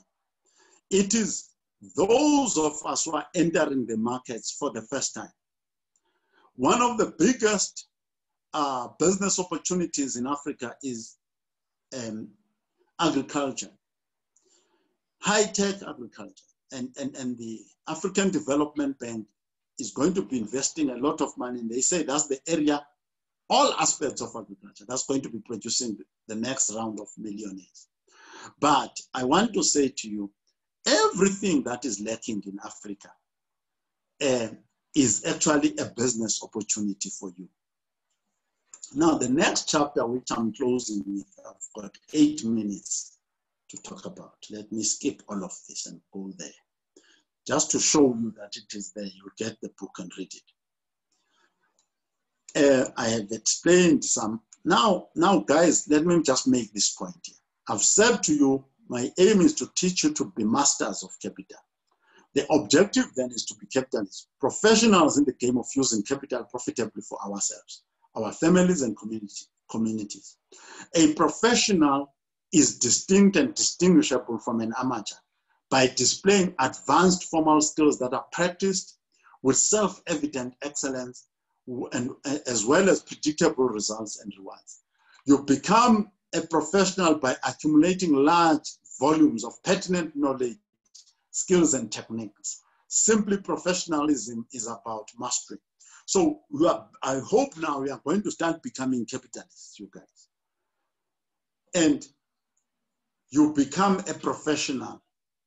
You handle capital the same way that Messi handles the football. And we are not going to be like that if we are casual. You need to be deep. You need to be very, very deep. Now, let me make a last commentary on these five forms of capital. And then I'll open for questions. Social capital. Social capital means that you build networks. If you want to go into farming, you must know who knows about veterinary medicine, who knows about plants, who knows about animals, who knows about financing agriculture. You build a network of people that you can call upon. And the way you build a network, you don't build a network simply uh, opportunistically only. Many, like for instance, now I'm doing community work here. I am not asking anybody to pay me anything for this, but I believe in this cause that you, you guys stand for. So I will invest. I mean, I woke up probably at about five this morning and I was reading the whole day, getting ready to present. Right? And I'm not going to get paid for that. But I want to do my best. And you guys must know that I'm doing my best and you must see that I'm doing my best. That builds a relationship. Later on, you say, Sandile is a man I can trust. Sandile is dedicated. So when now we need to do business together, we've been working together, then we can do business together because we've been through a few things together. That's how you build social capital. And it's something that you do every day. You build social capital with people who are valuable and people in whose life you can also plant a seed, you can make a contribution, you can contribute to their success. So that when you need them one day, they can there. So social capital in the native tongue, you can say is izandla ziyageza. Finance capital, all of you understand that, but it can be sophisticated as well. Human capital, the biggest problem that we see here is that there's a lot of zamazamas in many professions in South Africa. People have got superficial knowledge about the very thing that they want to make money out of. My son studied finance. He, he, he uses his, he used his financial skills to build a business in dentistry, to buy up dentistry businesses. So he had to learn a lot about dentistry and buy and get a team around him and buy these businesses. He went into IT now to try and buy IT business. And the owners of IT businesses could not take him seriously because they saw that this, this man doesn't know anything about this thing he's talking about. And I said to him, you see, the problem with you is that people cannot sense depth in you. You have no depth. You are a lightweight. So you need to go back and build muscle. But in the meantime, I'll use my muscle to push you forward. But you don't have muscle. Physical capital. Physical capital, I told you, these laptops, these cell phones, land, buildings, you cannot do a job without the tools for the job. Intellectual capital, Africans pay no attention to intellectual capital. For instance, Brenda Fassie's family, how much money are they making out of her songs? All the people who are writing all sorts of books, all sorts of things they've invented, have they painted them? That's intellectual capital. So I'll stop there and then let's open it for, for questions. But you will see that as you go down the book, all these things are there. And I'm saying you cannot beneficiate anything if you don't train your people to be masters of capital, and that is what capital is. So, Paul, let me stop there. Wow, leadership, this was very powerful. Absolutely powerful. I went through it myself, but now that you're explaining it and taking us through it, it's even, yeah, I, am getting it. It's even much more powerful than I, I, I got out of it. And I'm very grateful. And to those subject members, I have shared this, this document or this book with you on all the WhatsApp groups, both Friends of SALGC and the main group of the, the Gents themselves. Very powerful. I've taken so much from this. And I see a lot of comments already here at the bottom. I'm sure people have taken notes and yeah, I've seen a lot of comments. People have questions and they would like to just go for it. While you guys are preparing your questions, I can just read a few that I see here building social capital, be reliable, be committed, deliver as per promise, let your word be good enough, work ethic. Moses Makosazana says, uh, very splendid presentation, my leader, Mr. Swan. Uh, Usis Portia says, put your money where your mouth is. Incredible. A lot of comments that I get here. Uh, can I get questions? Mr. Msama, because I'm not a host, I'm not able to see if there's any hand up. Can, Can you guys ask, ask a question? Sorry. Oh, yes, yes, yes, go for it. Isn't I mean, I wanna. That's sister. Ah, sorry, sorry. Yes, um, I'm trying to put my hand. I don't see on my computer where is the part for the head, but in any case, it's fine. Um, thank you. Uh, thank you very much, Mr. Swan. That was a powerful presentation. I enjoyed it very much. Uh, a quick question. Uh, against the backdrop that we find ourselves in, where we are in heavy debt as a, as a obviously as a country, we all know, uh, with the IMF debt, the Chinese debt, etc.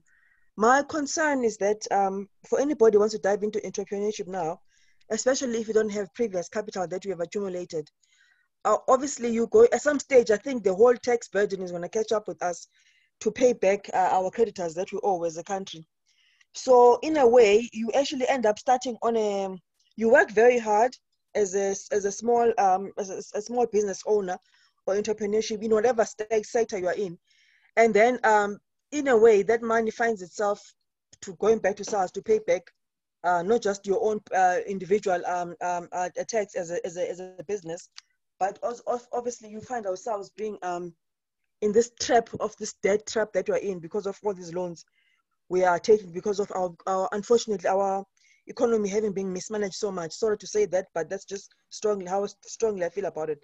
So against that backdrop, my concern is um, as a starting as a starting up entrepreneur one, uh, there isn't sufficient uh, capital available, right? Financial capital available right now to assist because obviously there, you know, there are lots of competing priorities that the country has to, um, you know, has to balance, find a way to balance the little bit of money that we actually have. Uh, that's one. So there is probably going to be a shortage of capital, and we don't all have, um, you know, easily accessible cash to start start up our own businesses. So that's one. And then number two, the fact that when you do eventually start, uh, whichever much money you have are able to access and start, you then find yourself trapped in the in the in the tax situation. I know right now, I think it's about is it forty percent? Uh, uh, I can't remember the last figure. I think it's about there. I think in the future it's probably going to increase because how else are they going to um, generate um, income tax except for taking some money from business, etc. Anyway, that's another debate for another day. So you find yourselves that already you are there's those two devils you are faced. So to use that word, you are faced up with one, the individual tax you're going to pay. too, there isn't enough money circulating around for you to do, to support us as emerging entrepreneurs to actually start up businesses and um, you know whatever venture they may be. So how do we navigate ourselves amongst the current environment that we're in right now? We do want to you know work hard, put in the time, uh, you know, build clientele, get the revenue in, and, and prosper. But right now, um, you know, in the situation that we're in right now, I don't want to appear negative, but I'm trying to be realistic and practical. How do we navigate ourselves? Because that's a reality that we all face as emerging entrepreneurs and as SMMEs, especially because there are very few of us are, set, uh, are capitalists at the moment. We all, we all aspire to get there in the in the future, but currently we are not. Most blacks are actually SMMEs. We're still stuck in that level. Um, so how do we, how, do you, I know it's a difficult question, this one, and probably it's unfair of me to ask that question to yourself because you're not government. But uh, yeah, how best can you advise us? Was this something that is real? It faces us every day. Um, it faces um, whether you're in the township economy or wherever you are, rural economy, etc. That's the situation that we face, and how do we, how do we as entrepreneurs? Yeah, let, let me answer. Let me answer the question. Thank you. Um, the, the question has got two parts. Let me answer the part first that deals with the members of this organization where we are. Mm. Part of what I have not presented today. Is that when you, you go back into our history, there was an organization, some of you will remember not so long ago, called Volkskas, Volkskas, a bank called Volkskas. ABSA is amal amalgamated banks. So there was Trust Bank, there was Volkskas, and so on. But I want to focus on the idea of Volkskas. What the Afrikaners realized, because the Afrikaners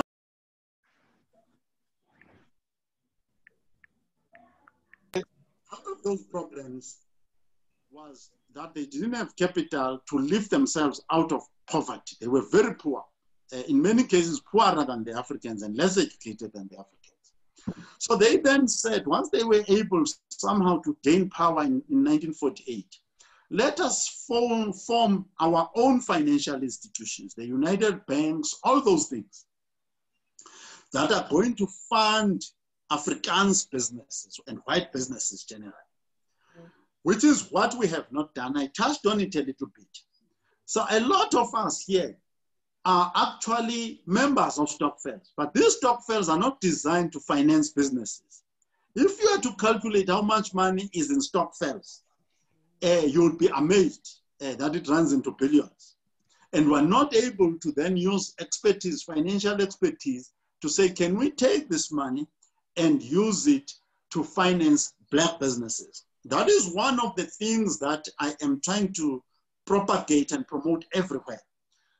Then on the part of government, there's a mistake that is continuing to be made.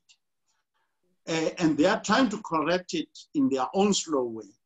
Because when the Reserve Bank releases money like they did this last time, that money goes straight into Nedbank Standard Bank, and so on. And those people have a long track record in the, since 1994 of not funding SMMEs, not funding black businesses, not funding startups.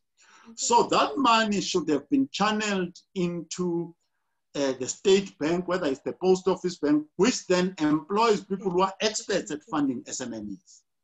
Go into ECDC, Northwest Development Corporation, but you need now people who are competent to do the job. The last thing I want to say about the state itself and the taxes that you are talking about. The, the increase in borrowings uh, by government is not our biggest problem. Our biggest problem is that our income, which is GDP, has been declining over time. It has not been growing fast enough. So, for instance, to um, if I go and I borrow money that my installments are 100,000 rands a month, somebody could say Swana is over borrowed. But if my income is 3 million rands a month, I pay that 100,000 without blinking. So the problem in South Africa is not the extent of borrowing. The problem is that since 2009, no one, not Pravin Gordhan, not Tito Mboweni, not Gigaba, no one has been able to come up with a credible program of increasing income. You can actually borrow the total debt to be more than your GDP. Japan does that successfully. So the issue of that we're borrowing too much is only to say we're borrowing too much because we're not productive. That's the only problem. Thank you.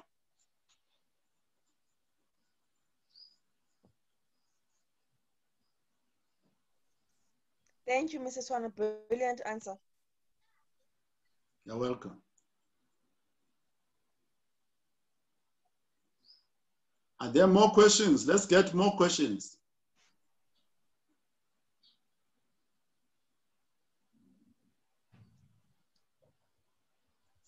Um, it's Portia here. Good afternoon. Thank you so much for today.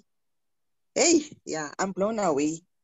I'm, I'm still trying to digest in five years uh, worth of um, money that one must have to survive on. I'm thinking we've been told of three months, have three months. The best I've had so far was was Sus Omar says uh, between eight and eight months and a year to try and figure out. And you know, today when you said five years, I thought to myself, wow, we're really just playing games, eh? If we are still thinking and struggling to just put together three months of savings. But um, it does make sense. It really does make sense that uh, we can't be in the first month of, of, of coronavirus hitting us we we are scrambling and trying to find ourselves and having to sell houses and and and it's i mean there's a lot happening so yeah for me i'm like wow okay. So i don't really have a question. I'm still trying to digest that part. Thank you. Okay ma'am. Thank you very yeah. much. Yeah. Any other question yeah, well, yeah whilst they are bringing another question, let me just say to Sis Portia that as a young man, when they were building Microsoft, Bill Gates used to insist that in the bank, in hard cash, they keep three years' salary in the bank so that employees know every day that there will be no month when they don't get paid. Three months, three years worth of salaries in the bank. Wow. Wow. We, we actually really need cultural change, huge, huge cultural change it's, yeah, it's, it's a long way to go. Mr. Swana, if I may ask a question myself, uh, when you look at the situation in our country, is it, is it, is it a lost hope or is there hope when you look at it generally in our country?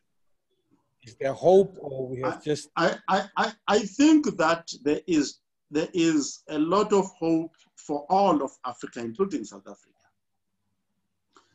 the you know the the three names that I've been using most, uh, Aliko Dangote.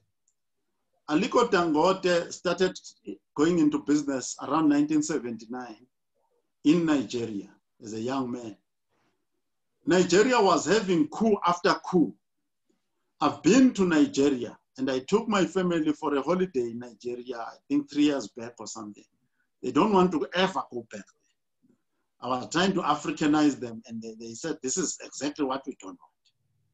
So you are talking about a country that is chaotic, but it has produced the richest man in Africa, running businesses there. South Africa is nowhere near the chaos that is happening in Nigeria. Secondly, Strive Masiyiwa is a Zimbabwean.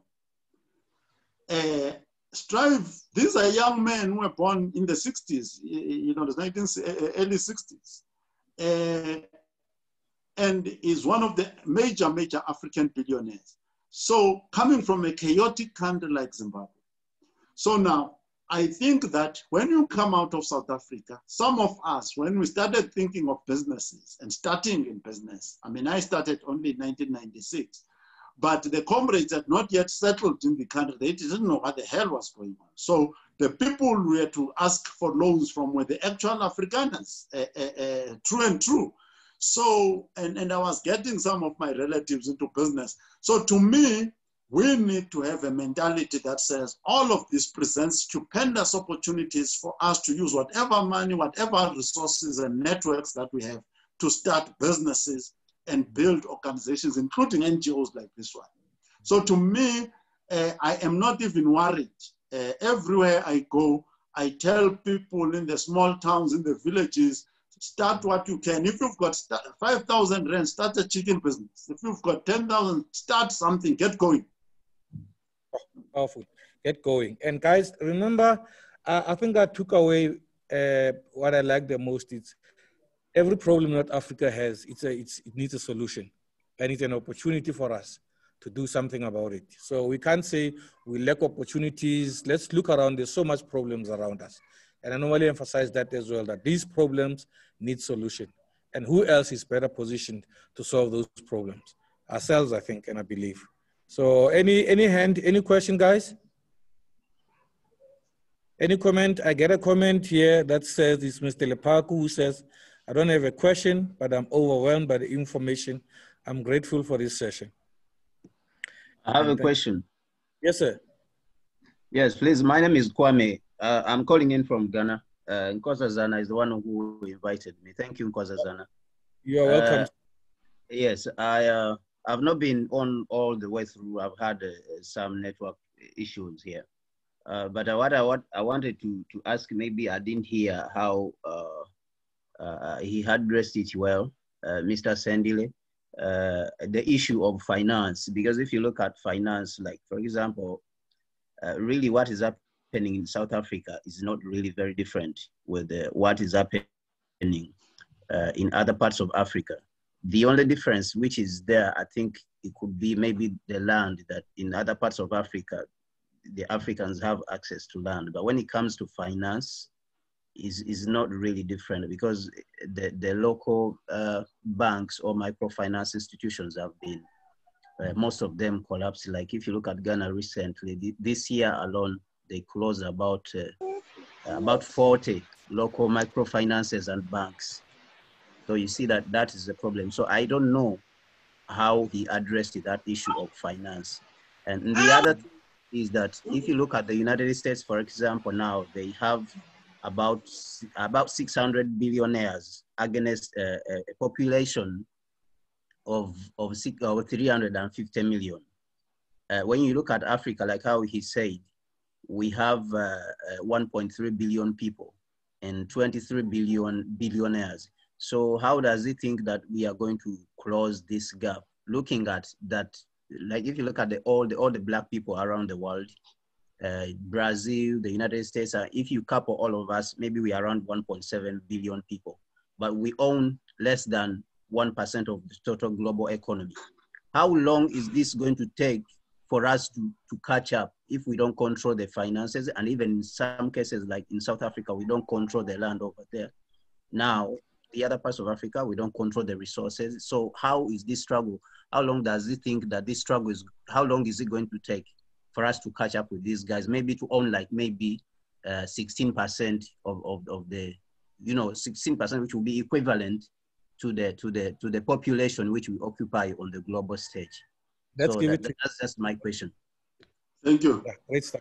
Thank you so much. Yeah, let me uh, uh, start by saying that the the rate of uh, creating wealth, in other words, creating a billionaire, uh, for a person to come out, even a nation to come out of poverty, a whole nation, because of all the technological advi- advances that have already happened and the integration of the world economies, it takes 30 years, one generation. So if you are uh, 35 today, by 65, you can be either a multimillionaire or a billionaire, for sure. It takes one generation now. It's well established. Singapore, it has been proved all over. China only started to go where it is. They only started in 1979 to do what they, Sorry about that, sir. Sorry. yeah, so they started in 1979. On the issue of finance, for instance, I mean, I've studied finance at university, but I'm not a finance practitioner. But what I know about finance, and I've, I've participated in startups, for instance, mining startups where there's no cent on the table. And people think that to start a multi billion dollar business, you yourself must have a few billions or something. Many of the celebrated CEOs, including the one like Neal Froneman, who owns the largest gold mines, I, I, was involved, I was a partner in that business at the time. I'm still a shareholder in some parts of those mines. Uh, he had nothing. He went to a local high school in North Cliff and went to Wits. His profile and mine are very different out of the fact that he was white, obviously had more other things than me. But when he was struggling, I mean, he was eating pap and vleis, he had absolutely nothing. And by hiring the office, what he did, he had three CAs in the office, three people who specialize on finance. I said, I confronted him one day and I said, what kind of mining company is this one that has got more CAs than engineers? Uh, uh, and I was unwise, of course, in that query because what was needed was people who actually know how finance works. And he raised all the capital that he needed. And today is the largest in, from 2003. That's when the first time I met him, 2003. Today, he is the largest miner in South Africa. He's not much older than me. Hmm. So the problem of finance, let me add this. So you must have people who know finance in your team and in your network, people who know finance, how to raise capital. Number two, there's something that we don't realize. Here in Africa, interest rates are high. Interest rates in Europe are negative, meaning that Europeans are looking for places to send their money to. They don't want to keep their money in Europe. So now, when you meet people who know finance, what they are going to do is to source that capital because it's lying idle in Europe, bring it here and finance local businesses. So those are some of the issues we still need to get into the detail of it, of how you go about it. But finance to me is not a worry. It's not a worry, not at all. It can be done. Wow. Building capital is a collaborative effort, gents. I'm getting that. Uh, partnership, operate effort. We need to work together. Find the resources that are around you and check the strength of who you have around you. Cooperatively, you'll be able to get it through. Uh, thank you very much for that. Uh, any other question? As we get in closer and closer to our time. Hello, my leader. Yes, yes, Sipho. Yes, leadership. Yes. Uh, first and foremost, let me applaud uh, Mr. Sandile Swana for the brilliant presentation. And I think uh, it has a lot of wisdom in it. And uh, I like the fact that he started the whole thing from, from the Bible. And which is one of my interests because I'm still studying theology. And uh, again, I'm supervisor of studies when it comes to the preachers.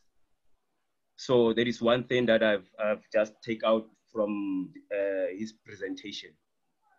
And my question is, because he's already answered the one, because I was going to ask a question saying, now that we bought uh, expensive cars uh, to show off, and uh, maybe with loans from the banks. And now those cars are gone. They've been repossessed. The house, fancy house that we stayed in, they've been repossessed. Now we have nothing left. Where do we start? So, but the, um, when I listened very carefully, I think he answered it by saying, you need to have uh, people around you uh, where you can start building uh, the business. It's not all about having uh, monetary, but it's also intellectual. When you have intellectual, where you can be able to have a business plan and sell uh, the idea so that you can get investments.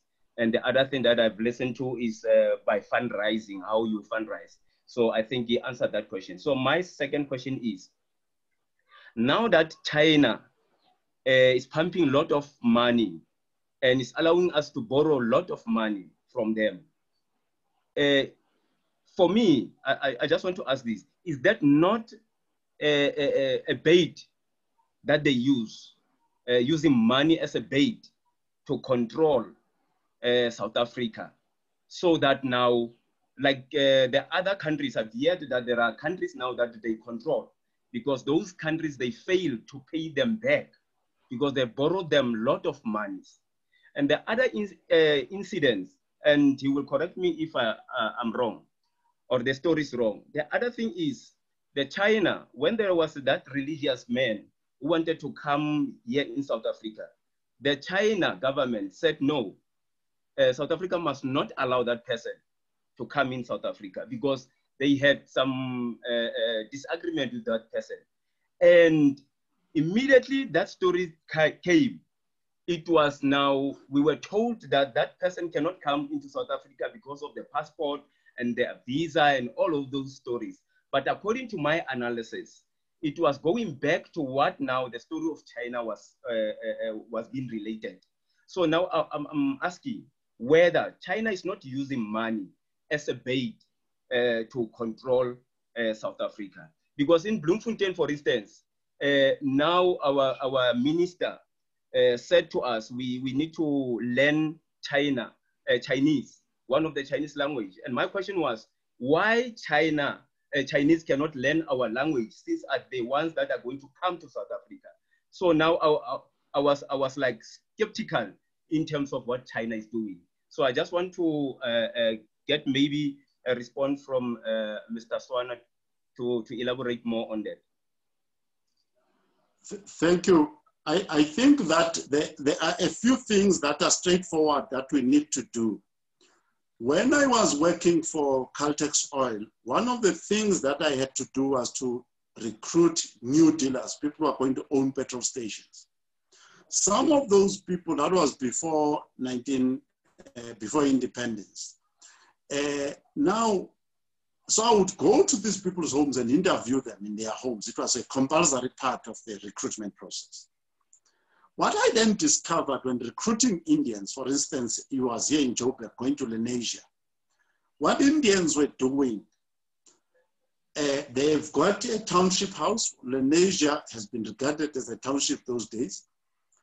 But what they would do, they would build, turn the township house and make it into a 12 bedroom mansion in Lenasia. And then you find that when the children are growing, they contribute capital to create this mansion. They are not rushing to buy houses in Sandton and so on. Now, if you look, for instance, my wife is from Vosloorus. They've got a house there. That house is her inheritance. It's already known is sorry, owned, debt free. Why can't you create a mansion out of that and take your capital and invest it into productive activities and live nicely in your own house until you can have more spare money to buy luxuries? That's the first mistake that our people are making. Laudium, Lenasia, even here in Fordsburg, Mayfair, Indians have built beautiful mansions on very cheap land and turn the whole place into a high priced environment. We don't do that in the black community.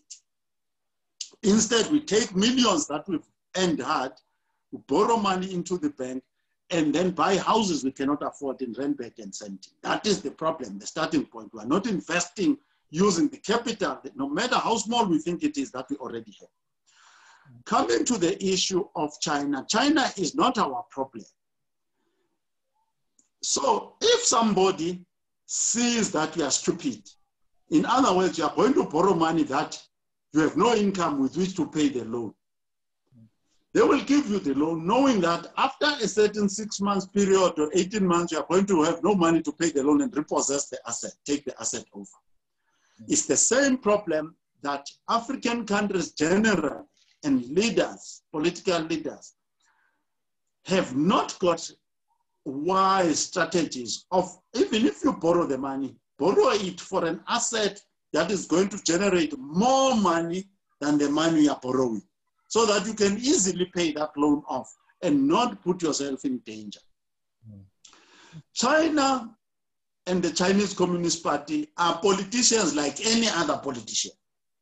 So you go to Botswana, uh, you go to Namibia, they've built structures there for the government. There are even Confucius centers of learning and this and the other, all sorts of things like that.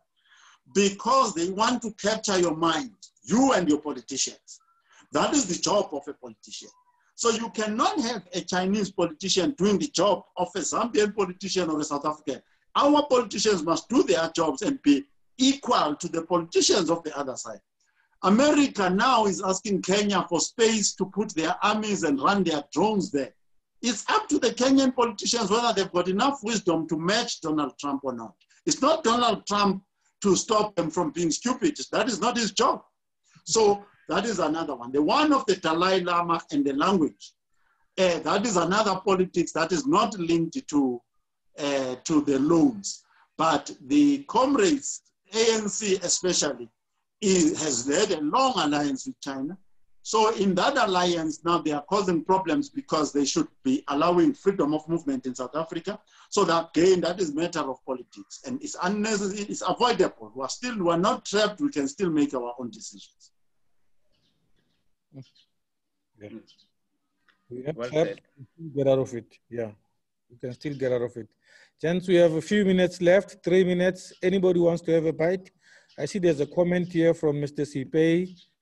He says, I like the insight on the ac- acquirement of acquirement of knowledge and depth in every business opportunity we intend to venture into. Brilliant enlightenment. Siyabonga mhlekazi. So, any other question? As we close, gents, ladies. Yeah, let me come, let me come back with the second question, uh, uh, uh, second round. Um, of, uh, yeah, Go so uh, yeah, Mr. Sandile, uh, this is Kwame Gonza. I wanted to ask. Uh, I don't know whether he has spoken about uh, uh, everyone who is starting a business, be it in South Africa, because I think the focus is on South Africa. Uh, to think about not only South Africa, but to integrate that business in, in the African uh, context. I mean, to Good target the, the, the whole 1.3 billion people uh, as a population, as a market. Yes, Kwame. Yes, Kwame. I didn't mention that when we are asking about the, the period it would take to create uh, multimillionaires and multi-billionaires and to create rich nations. The intra-Africa trade, in other words, the goods that are sold between uh, Zambia and South Africa, Zambia and Kenya, all of the trade between the countries is 17% of the total trade in, amongst African countries. In other continents, it's more than 64%, which means that intra-Africa trade is supposed to grow by four times, four times, supposed to grow four times. That idea of producing goods and services for all of Africa is going to produce many multimillionaires and many multi-billionaires uh, right now in the immediate future. So that is another major, major opportunity that we need to study, understand, master, and implement straight away. Thank you. Thank you very much.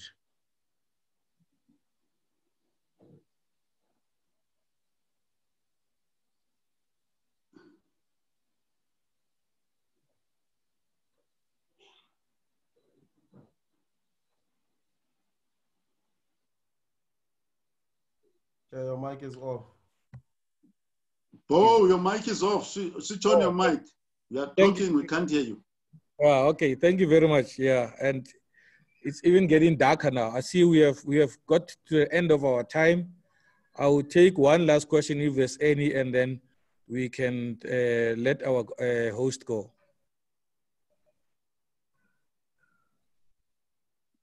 Leadership in closing and in the absence of any question, uh, what can you say in closing? And just for the guys who are having conversations in groups and the ladies who are geared up in talking, just in a nutshell, closing, uh, in summary, what would you say? Um, there, there are two things I want to say. Uh, whether you call this thing development, whether you call it entrepreneurship, please become a professional. Uh, uh, if you've grown up anywhere in Africa, you know the difference between an amateur soccer player and a professional soccer player. Become a professional business person. In other words, the literature you read, your learning, your skills, your everything, you must be deep. You must be very deep. It is Africans, not Chinese, not Americans, not Europeans who are going to develop Africa. It is us, and you must be one of those who are going to be torchbearers. The second thing that I want to do, and it's a request to all of you to get my uh, WhatsApp details, get my email, send me comments, send me questions, because these lecture notes I'm presenting, this is a manuscript that I want to send to the publishers. But it would be good if it is uh, having realistic insights from the ground. Uh, and then I can improve it before submitting it for publication. Thank you so much. Once again, it's a great privilege to work with you fellows. May God bless you immensely, time and time again. Amen. Thank you, thank you, my leader. Thank you so much. We appreciate you, and uh, yeah, great stuff. Wealth of knowledge. We appreciate you. We'll keep in touch. Thank you, sir. God bless. Ladies and gentlemen, we got to the end of our meeting now. Thank you so much for your for for this lecture, and we hope to see you again in a fortnight for another lecture. Thank you, uh, Mr. Swana. Thank you, Bo. Thank you, everybody. Thank you. Thank you. Thank, you so much. Cheers. Bye bye. Thank you. We're hoping this is not the last.